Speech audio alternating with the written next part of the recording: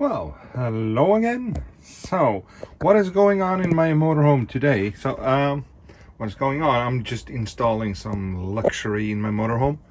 Uh, departure to Spain is coming up, so it's just now three, four days.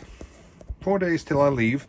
And since I am a guy that really, really enjoys my morning coffee and then midday coffee, midday coffee, you know, coffee in general, I am going to install this one, which is um, a Nespresso coffee maker. So um, I'm gonna secure it just by using these ones, which is uh, really, really good uh, uh, fixing for items that I want to be able to take loose again and just installing uh, extension cord. So because uh, up here in um, here I have the on off button for the inverter. And if you follow all along and back there I have the sockets so I'm just gonna put on an extension cord bring it all the way over here.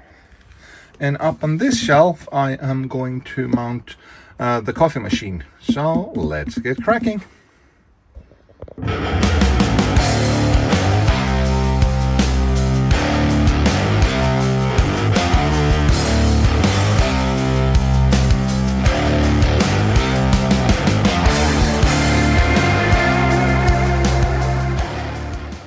that everything fits.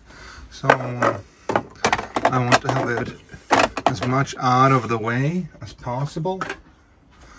And let's see if we oh this is go, goes the other way I think. No it doesn't. This go on goes on like this. This goes in here. This one oh this one goes. How the freaking hell was this? Oh it's like this this goes on top and the whole thing goes into there we are so I think that looks quite okay bring it all the way back here so I need to be able to take off the tank, which I am, and put it back on easily without having it interfering with those.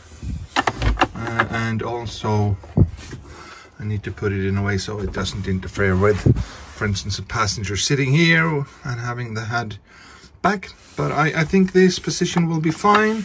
So now I am just gonna install uh, that Scotch double uh, side tape, or it's not it's not a tape, it's just a fixing thing. I'll, I'll show you when I pack, unpack it. Uh, and then we're good to go to coffee. Good things. So let's see now if I can open this with one hand. So it can hold five kilograms if you just use uh, a tiny, tiny bit. So I'm going to use a bit more. So here we are.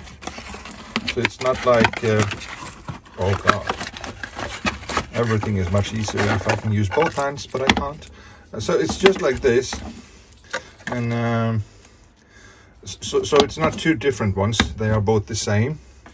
Uh, so what you do is you cut, cut them into pieces. And these ones, if I take this, uh, you just press them together. So they are really, really tight.